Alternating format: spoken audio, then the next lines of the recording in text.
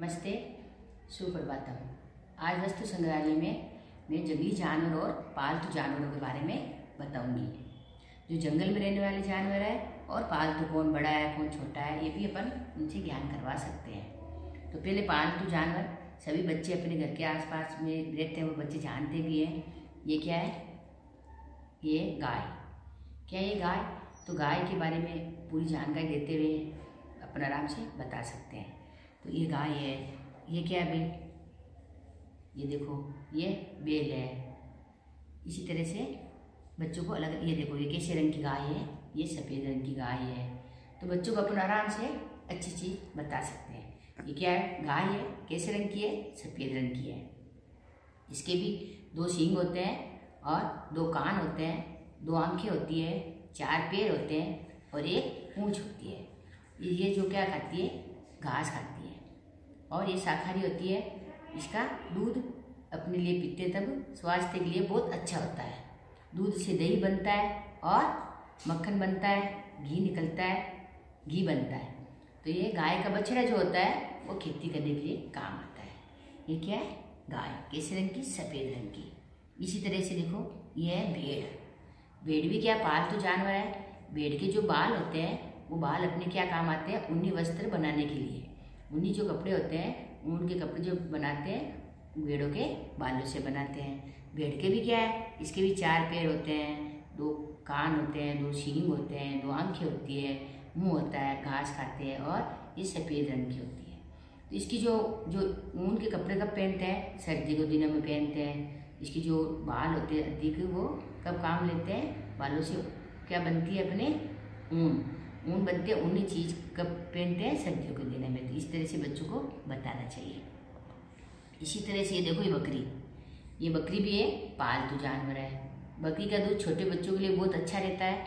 और ये भी क्या करती है?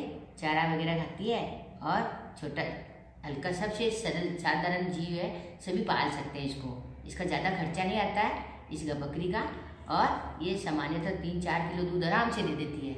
और वो तीन चार भी एक ये क्या है? बकरी। ये भी एक पालतू जानवर है। और ये इसका खर्चा है जो बहुत कम होता है। सामान्यतः सभी घरों में मिलते गाँव के अंदर इसका दूध भी स्वास्थ्य के लिए बहुत अच्छा था छोटे बच्चे जो होते हैं, वो इसका दूध पिलाते हैं इसको बच्चों को। तो ये क्या है? बकरी। ये घोड़ा। घोड़ा जो देखो, आपने देखा होगा, सवारी करने के काम आता है। घोड़ा। ये भी क्या है? पालतू जानवर है। घोड़े को आपने देखा होगा रथ के ऊपर जब अपन कोई राजा महाराजा युद्ध के लिए जाते थे तो किस पे रथ बनाते थे? घोड़े के ऊपर ही रथ बनता था। ये घोड़े युद्ध करने के लिए काम आते हैं। और शादी विवाह में भी काम आते हैं बोझा ढोने काम आते हैं, सवारी के रूप में काम आते हैं।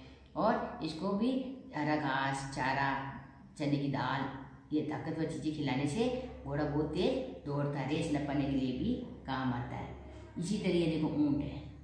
ये ऊँट इसको क्या कहते हैं? रेगिस्तान का जाँच। क्या कहते हैं? रेगिस्तान का जाँच क्यों कहते हैं? इतनी गहरी गहरी मिट्टी होते हुए भी उस पर आसानी से चल सकता है, दौड़ सकता है, पाँच सात दिन तक बिना पानी पिए रह सकता है। इसलिए इसको रेगिस्तान में पानी की कमी होती है ना?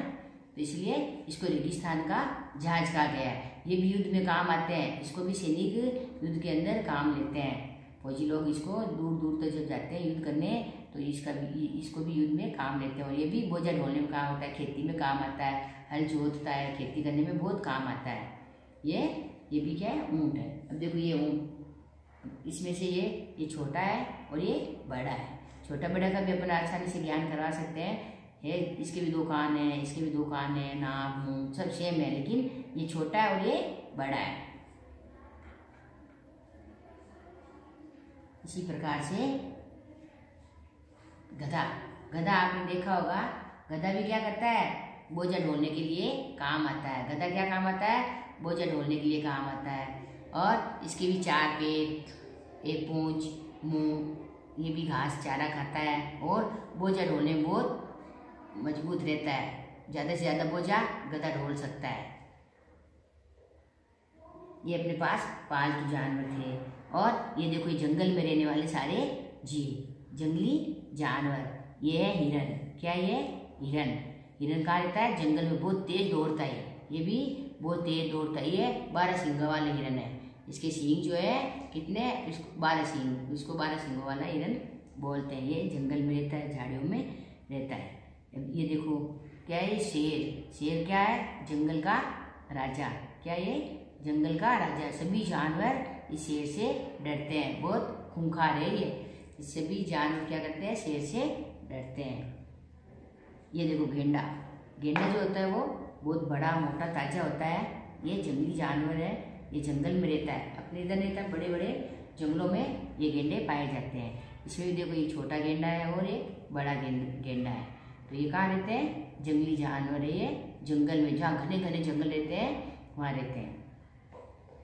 इसी प्रकार से ये देखो शेर छोटा और बड़ा ये तो ये क्या है? बड़ा है और ये छोटा है। छोटा बड़ा का भी अपन आसानी से ज्ञान करवा सकते हैं। तो इसी तरह से अपन बच्चों को जंगली जानवरों के बारे में, शेर चीतों के बारे में रहने वाले हाथी, घोड़ा, बंदर, ये देखो, ये क्या है? बंदर। ये क्या है? बंदर। बंदर कहाँ रहता है? जंगल में भी रहता है। आजकल आपको पता है, घरों के पास आस पास आ जाते हैं और पेड़ों पे रहता है। खुद खुद खुद ये नकल अपन कहता है जैसे अपन करें वैसे वैसे ये बंदर करता है। कौन है? ये बंदर।